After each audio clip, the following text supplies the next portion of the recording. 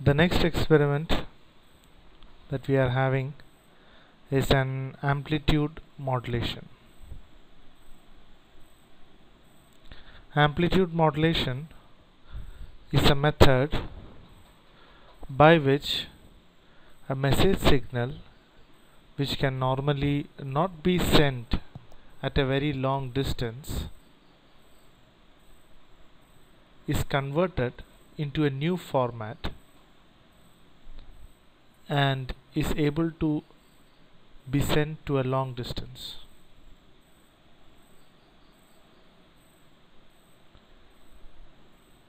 There are many methods of modulation. The first of which is the basically the basic one which is called as amplitude modulation that we are going to do today. In modulation there are two kinds of waves. The message which has to be sent and the carrier which carries the message to a long distance. The message signal is also called as a modulating signal because a carrier that carries the information, the message signal, the carrier has to be modulated. So there is a carrier wave and that carrier wave is modulated using a modulating wave or a modulating signal which is a message signal. And the end result is a modulated wave. So carrier wave modulating wave and modulated wave. In amplitude modulation the instantaneous value of the carrier amplitude changes in accordance with the amplitude and frequency variations of the modulating signal. So as I have said already the signal that we are having here is carrier and that carrier you can see here it is written the instantaneous value that means at every instant whatever is the value of the carrier amplitude. Hmm, we are varying the amplitude. So that's why it is called amplitude modulation. The instantaneous value of the carrier amplitude is changed in accordance with what? In accordance with the modulating signal which is also actually a message signal So the carrier amplitude is modulated by the amplitude of the modulating signal. Let's see mathematically what happens in it.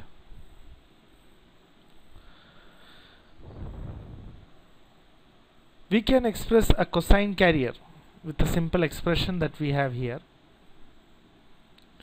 So what you have here is a carrier wave which is given the instantaneous value Vc which is actually capital Vc capital Vc is the maximum value which it can go the maximum voltage of the carrier and it is having a frequency of Fc this wave can be drawn. So this is a carrier wave which has a mag magnitude maximum amplitude of Vc this carrier wave has to be modulated using a message signal or a modulating signal. So let us look at that modulating signal. The modulating signal is also expressed in a similar formula hmm? sinusoidal signal Vm sine 2 pi f mt. So according to this equation what we understand is that the maximum value is Vm and the frequency is FM. If I draw that of these two signals you can see very very neatly that the frequency of the carrier is higher than the frequency of the modulating signal. That means FC is larger than FM this basic rule has to be followed every time this rule cannot be broken. Remember this very carefully. The frequency of carrier should be very very large than the frequency of the message signal. Actually it is because the message signal is having a low frequency we are using a carrier. So carrier is having a high frequency that's why it is able to travel very far distance and you know uh, do the communication. Whereas a low frequency signal like this has a lot of problems. But I cannot all of a sudden make a, a message signal to be I cannot get a signal message signal which is very high frequency. Message signal has its own characteristic. It may be high frequency it may be low frequency. Anyway the message signal is having a low frequency as compared to the carrier frequency. Now again look at what is the what is the uh, definition of AM wave. The AM wave defines that the instantaneous amplitude of the carrier which is actually which one? Given by this dotted line. That is changed in accordance. That means this maximum value is changed in accordance with this value. So right now you can see that the peak is not changing isn't it? Now if you try to change those peaks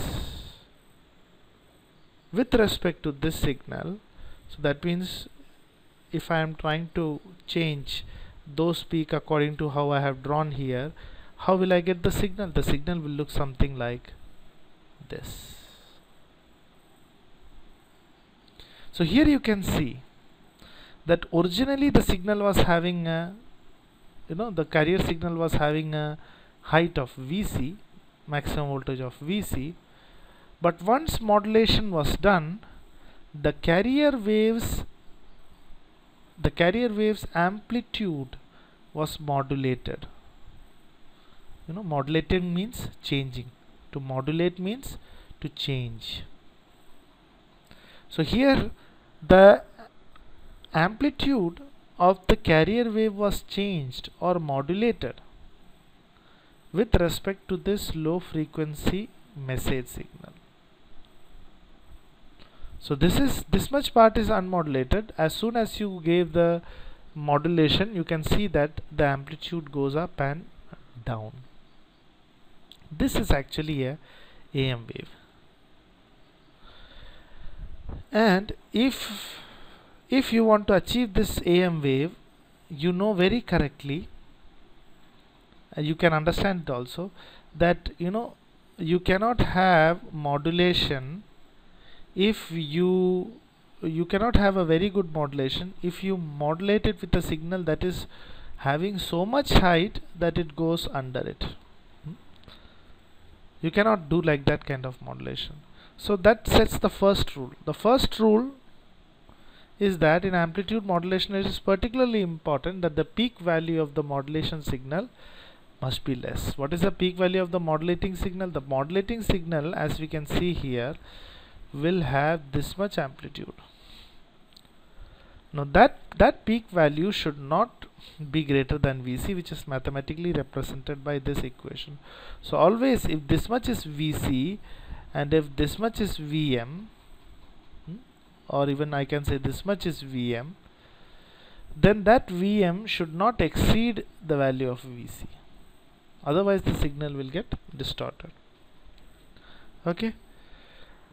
And now what we can see here is previously previously when the amplitude of this carrier wave was this much now it is changing so it is VC plus the instantaneous message signal instantaneous message signal so at this point it is Vc plus the instantaneous value. At this point it is Vc plus the instantaneous value. So the maximum amplitude of the carrier, the maximum amplitude of the carrier is now changing from this to this. Let's write an equation for it. So the original carrier was only Vc cos 2 pi fct but now that is changing with respect to the magnitude of the carrier so I substituted the VC as VC plus VM? Previously when I am only talking about the carrier the carrier was just VC cos 2 pi FCT but now according to this diagram I can see that VC's value is changing with respect to this. So it is now VC plus VM where VM we already have designed uh, have already said that it is this value. So I have substituted VM where did we define it? We defined it let me take you back here. See here we define the value of VM and here it is VC. Now in modulation VC has changed. VC has changed to what?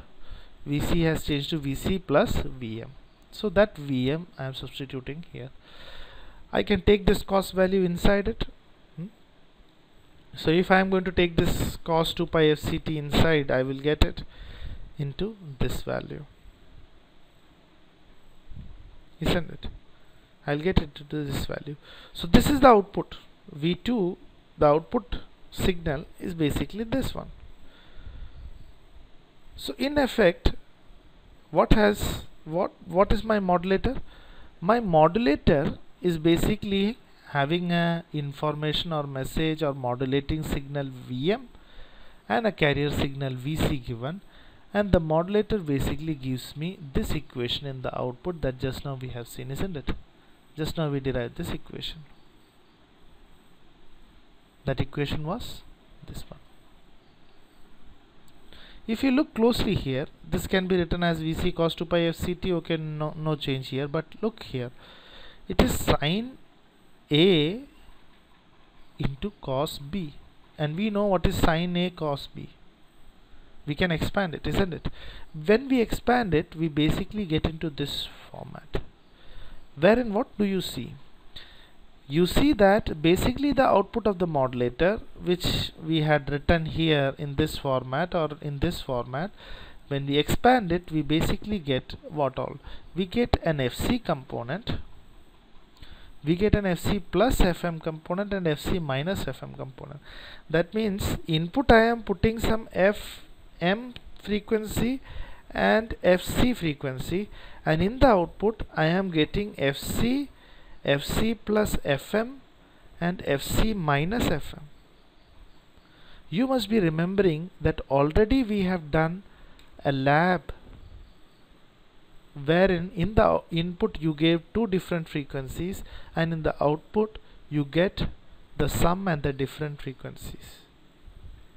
The experiment was mixer so basically a modulator as you can see here the modulator can be said to be basically a kind of mixer only. So if in a mixer you give FM and FC you get in the output FC FM also and then FC plus FM FC minus FM so here you are having it. The signal that we call as AM signal is basically having an FC and then FC plus FM and FC minus FM isn't it? If we draw that if we look at that waveform again diagrammatically we can represent it by this particular diagram. This is a very good diagram which explains many things very clearly. See this is the AM wave the equation of which is written here isn't it? This AM wave was generated by the mixer when you put this modulating signal and this carrier together in the mixer or you modulated this carrier using this modulating signal. And what is the net effect? The net effect is you got this signal. Well this signal is set in this equation it is said to be composed of three parts the original carrier plus some FC plus FM component and FC minus FM component. And what is happening? They are all added up. The, all the three are added up. I have drawn all the three here. Isn't it? This is a pure sine wave. This one. This is also a pure sine wave according to this equation. And this is also a pure sine wave. That is your FC. And the addition of all of this will give you this so mathematically at every time instant if you would go and add up it will give you this value. If you would go and add up here it will give you this value. If you go and add up here it will give you this value. So every time when you add it up you will get this particular signal. So when we say that there is an AM wave that we have generated like this it will be having a carrier component and an FC plus FM and an FC minus FM and let me tell you this one thing very clearly. This signal that FC plus FM and FC minus FM that you are having these two signal are just the compressed form of the message signal. So if my message signal is not like you know sinusoidal if my message signal would have been something like this then the FC plus FM component would have been looking something like this. What do you see has happened here? This signal I have compressed it isn't it? If I compress this signal I will get it. And that is what has exactly happened here. You have got the message signal here and that message signal if you would compress it would look like this. If you compress further it would look like this so the message signal which was previously in this frequency FM frequency has now shifted to FC plus F FC plus FM and FC minus FM so you have shifted the message signal in FM frequency to a higher frequency FC plus FM and FC minus FM. These two are called as the sidebands and they contain the same they contain the same information that is there here. Clear? So let me again go back. Basically we said that it is the modulator is basically a mixer itself so the design of an AM modulator will be basically a mixer which we have already seen. You can refer to the mixer design. It's the same thing. The only thing is that here we have taken care that VM should be less than VC and the VM frequency we have taken it to be 2 kilohertz and the VC we have taken it to be 18 kilohertz this LC see R2 R1 RE is basically designed in the same way as the mixer is designed.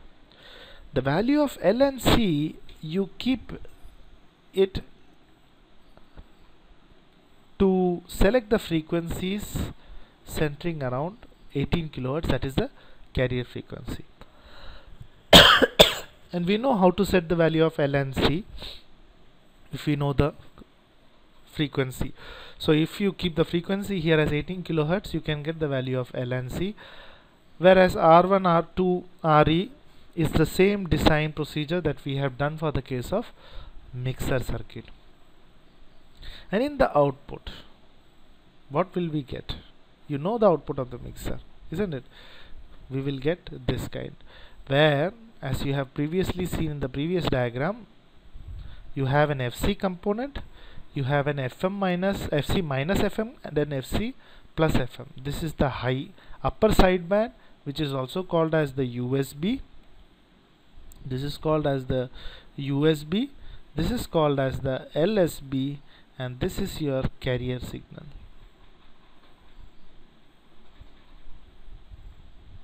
And what is this small one that you see here? That is actually your FM signal. FM in the sense the message signal. But why I have drawn it to be small here? It is because the LC is having a selection curve which looks something like this and if the selection curve looks like this you can see that you know here it will be very less value here also it will be less. So actually it will be selecting very small value. The output of this one will be having a very small value of FM only. And this is the spectrum that we want of the AM isn't it? So that we have designed the mixer. And it's the mixer itself which is working as a amplitude modulator now once we have got the amplitude modulated wave we want to calculate what is known as the modulation index. So as you can see here modulation index is given by this equation where you need to understand what is Vmax and Vmin. If you are having the um, mm, AM signal as drawn here then the two peaks the lower peak and the higher peak if you would go that together is basically V max peak to peak. Half of it will be just V max. So from here to here the voltage is V max. And from here to here the voltage that you are having is the V min peak to peak. Half of that would be V min so if we are able to find out V max peak to peak and V min peak to peak out of the output waveform that you have got you can calculate the modulation index using this equation. Okay?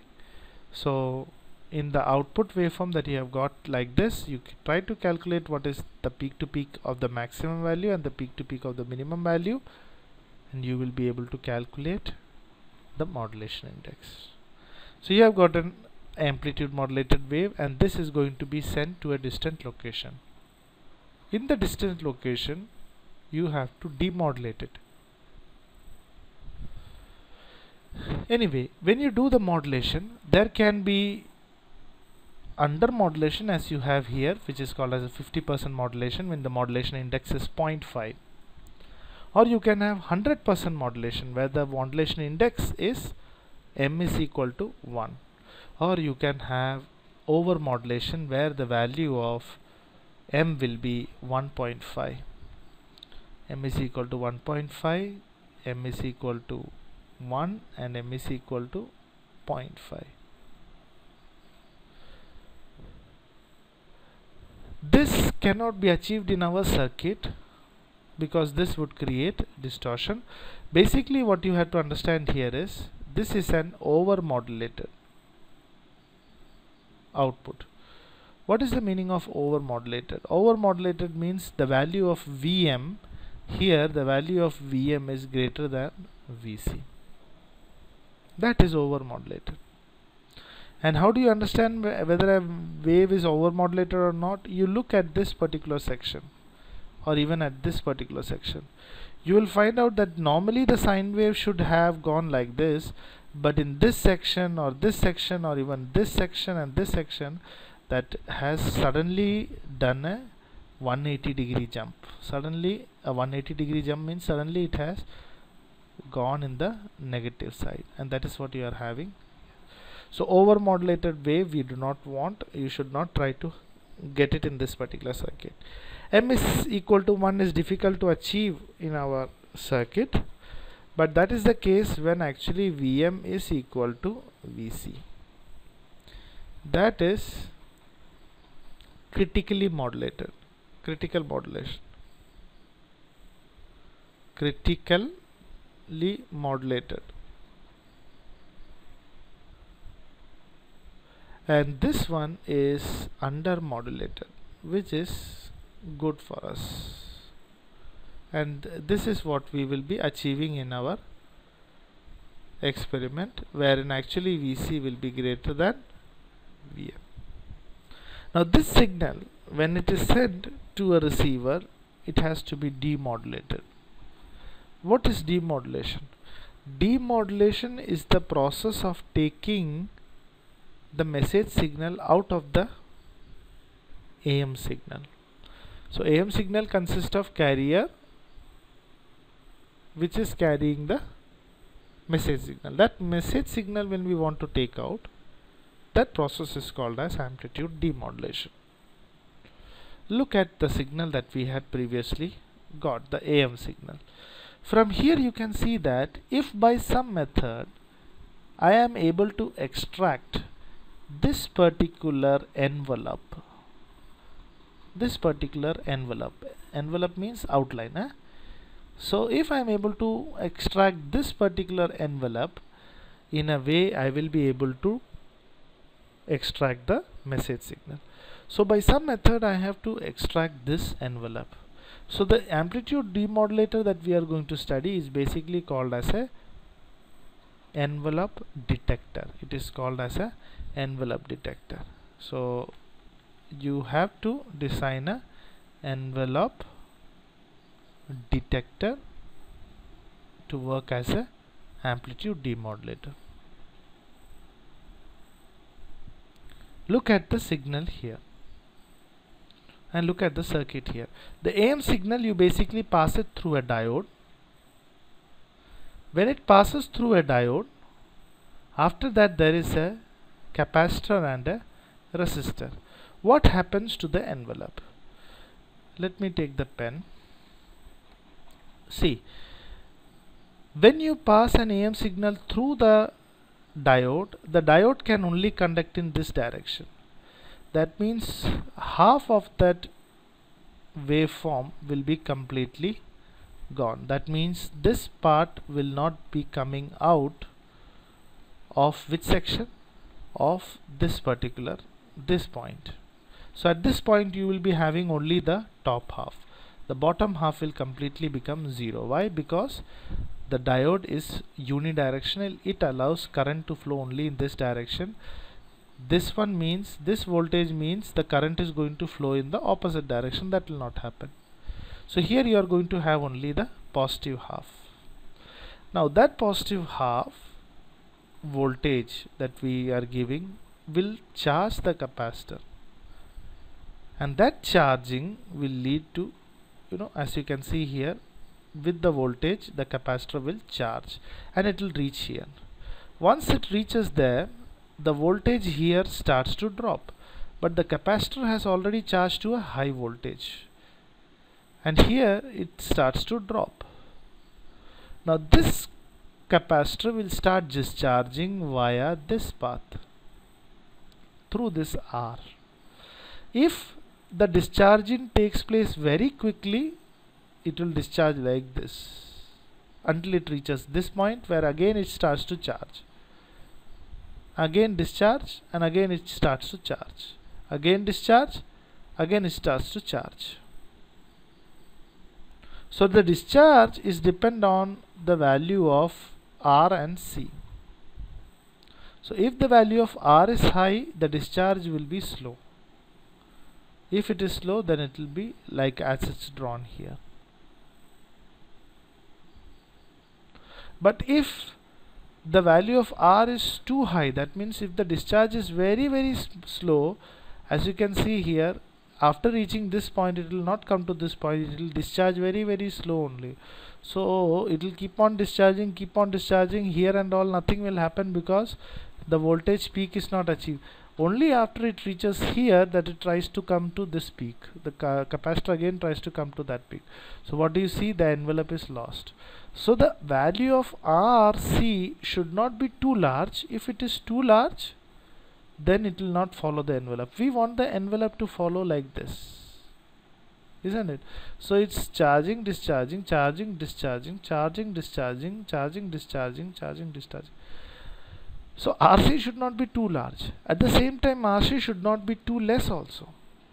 Because if it becomes too less then the output waveform will you know now the output waveform looks like charging discharging charging discharging charging discharging.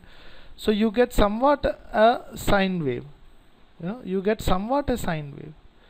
But if your discharging is too much then the charging discharging will look something like this it will look as if your your output signal the demodulated signal is having lot of noise.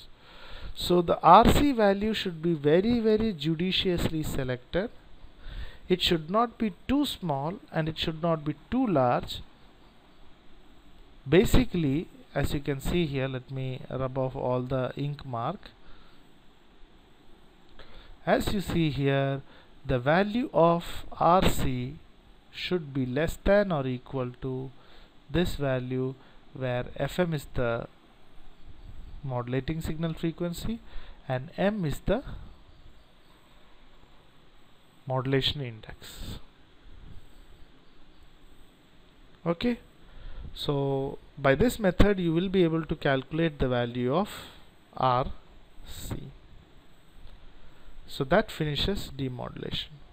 Thank you